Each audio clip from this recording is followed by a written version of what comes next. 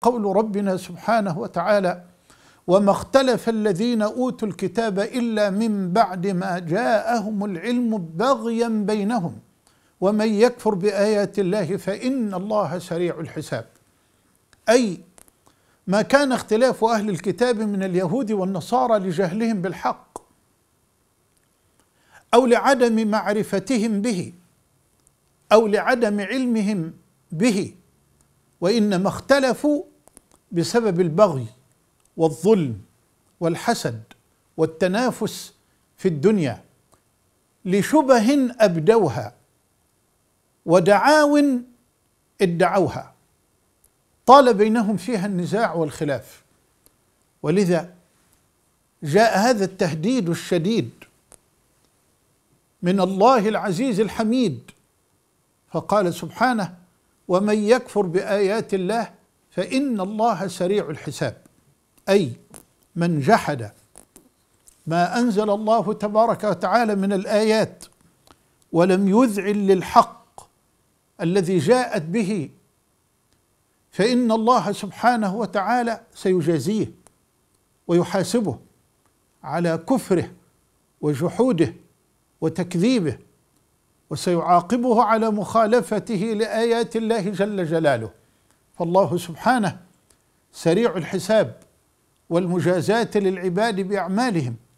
لا يشغله شأن عن شأن. فحسابه لخلقه أسرع من لمح البصر كما قال الحسن بل لقد سئل علي بن أبي طالب رضي الله عنه كيف يحاسب الله العباد كل العباد في يوم؟ فقال عليه الصلاة والسلام كما يرزقهم في يوم.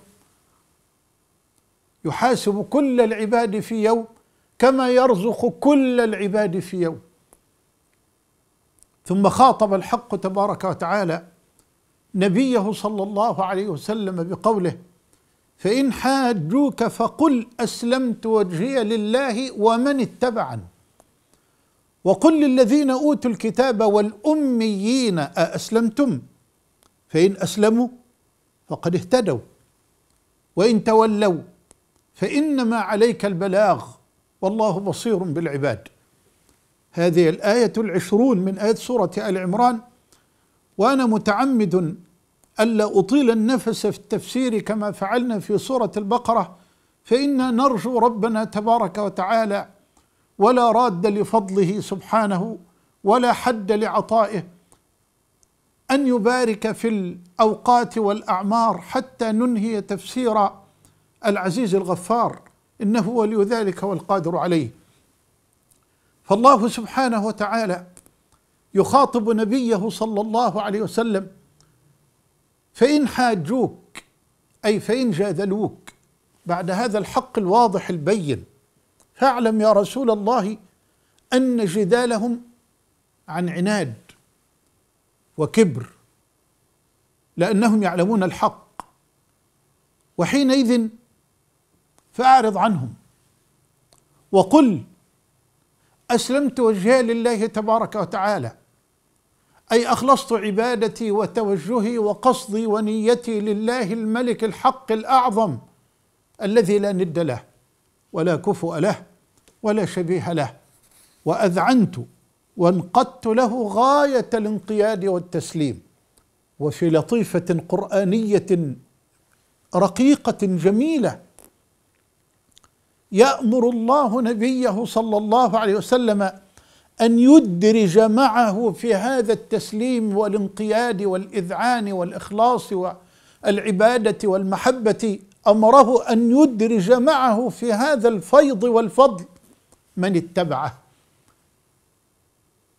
من الصحابة. وأولي العلم والموحدين المخلصين والمؤمنين الصادقين في كل زمان ومكان إلى أن يرث الله الأرض من عليها. فإن حاجوك فقل أسلمت وجهي لله ومن اتبعني. أي ومن اتبعني على الحق والهدى فقد أسلم وجهه لله أيضا معي. متبعا لي في إخلاص العبودية لله وصدق التوجه والقصد لله جل وعلا. ويا له والله من شرف. والله يا له من شرف. شرف لهؤلاء الفضلاء السعداء أن يشهد لهم بأنهم قد أخلصوا العبادة والعبودية لله واخلصوا القصد والنية والتوجه والانقياد والإذعان والاستسلام لله جل وعلا أن يشهد لهم بذلك الصادق الذي لا ينطق عن الهوى. وإنما هذه الشهادة بتوجيه لنبينا من ربنا جل جلاله. فإن حاجوك فقل أسلمت وجهي لله ومن اتبعني. أي ومن اتبع رسول الله صلى الله عليه وسلم.